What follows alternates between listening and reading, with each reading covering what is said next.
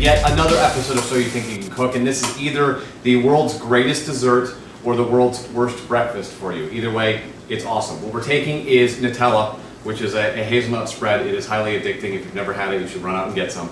We're taking Spartan brand whipping cream because we're going to make our own whipping cream, fresh strawberries from D&W at Knapp in the Beltline, and all butter pound cake. And we're going to basically make a panini. I don't have a panini maker, probably are, you don't either because they're like $7,000. You don't need one. George Foreman has made an excellent cheap panini maker for you, so that's what we're to use. And with pound cake, since it's all butter, you don't need to grease anything. You basically just make the sandwich, put it on there, and off you go. All right, the steps are simple. You take the pound cake and some Nutella, and you put it on there. Like you were making a sandwich. Perhaps maybe the world's greatest sandwich. I like Nutella. Um, my wife Angie loves Nutella, so we're going to uh, put it on both sides as opposed to putting it on just one side. Then, basically all you do, take as many strawberries as you would like. These are fresh cut and excellent. You don't want to make it too crazy, um, but you do want to enjoy it. And then take the other side, and you got yourself a sandwich.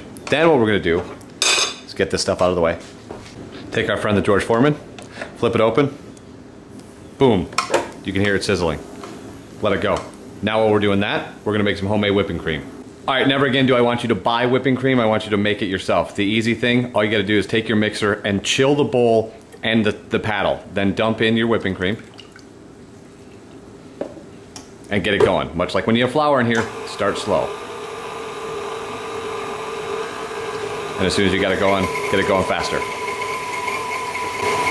We're gonna add just a little sugar for sweetness.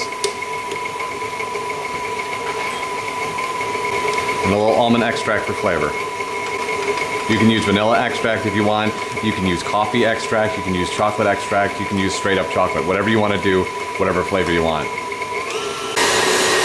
All right, then in less than two minutes, and for under a dollar, you have made yourself your very own whipping cream.